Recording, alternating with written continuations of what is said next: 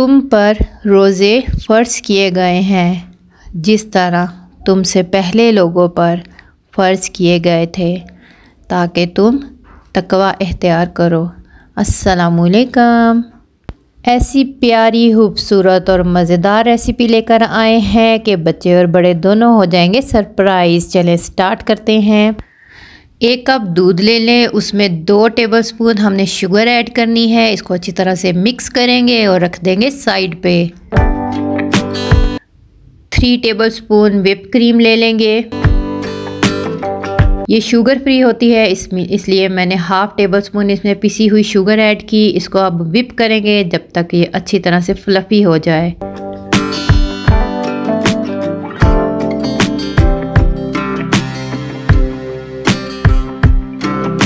ये जो स्टेप है ये आपकी मर्ज़ी पे डिपेंड करेगा। मुझे तीन कलर चाहिए। आप ये एक कलर में भी बना सकते हैं। इसको पिंक में बनाइए ग्रीन में या येलो में जो कलर आपके पास अवेलेबल है उससे इसको बना लें इसके कलर चेंज कर लें।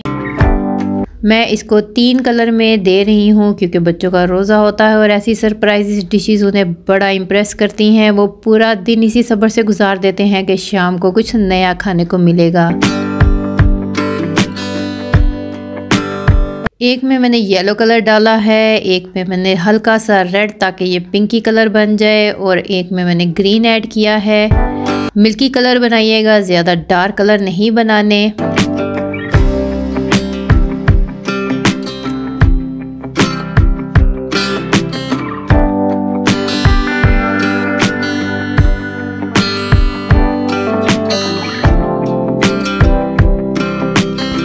ब्रेड ले लेंगे, जितने मर्ज़ी आप स्लाइसिस बनाइए, उनके एजेस हम निकाल देंगे, इनको पेस्ट नहीं करना, ये ब्रेड क्रम्स बनाएँगे और सेव करेंगे। एक एक पीस उठाएँगे और हल्का हल्का बेलने से इसको बेल लेंगे, ज़्यादा नहीं बेलना, वरना आपकी ब्रेड टूट जाएगी, बिल्कुल हल्के हाथ से।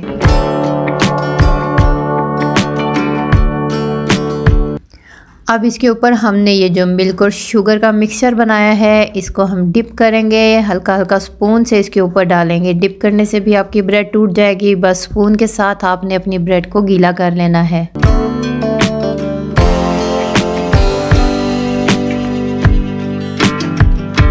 दोनों साइड से हम इसको वेट करेंगे और अपने हाथों से हल्का हल्का इसको निचोड़ लेंगे। बड़ा स्मूथली ये काम करेंगे। ब्रेड आपकी सॉफ्ट हो चुकी है वेरी सॉफ्ट हो चुकी है।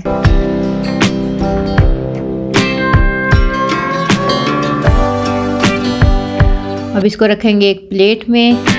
इसके ऊपर लगाएँगे हम क्रीम कोई भी कलर आप ले लें। बच्चों की बर्थडे के लिए भी ये बहुत मज़े के रोल बनकर रेडी होते हैं। मिल्की बैलून्स के साथ मिल्की ब्रेड कोकोनट रोल भी रखिए बहुत मज़े का डिज़र्ट लगता है। और आपके थीम में चार चाँद लग जाते हैं। घर में जब छोटे बच्चे रोज़ा रखें तो उनके लिए इस तरह से अट्रैक्टिव चीज़ें ज़रूर बना के रखिए। हल्के हाथों से इसको हम रोल कर लेंगे।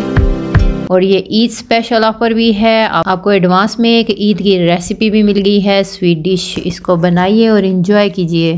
रोल करके अब इसमें हम थोड़ा सा कोकोनट लगा देंगे। कोकोनट लगाने के बाद हाथ पे थोड़ा सा टैप टैप करेंगे और ये डस्ट हो जाएगा, जो एक्स्ट्रा कोकोनट होगा।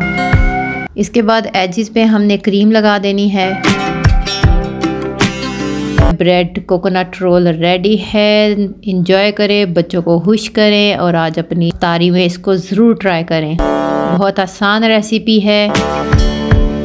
सारे कलर बनकर रेडी हैं। अब इनको डिस्प्ले करके भी दिखाते हैं। रोज़ा खुलने वाला है। अभी इतने काफ़ी हैं, बाकी मैं बाद में बना लूँगी। अब इनको कट करेंगे दो दो पीस कर लेंगे।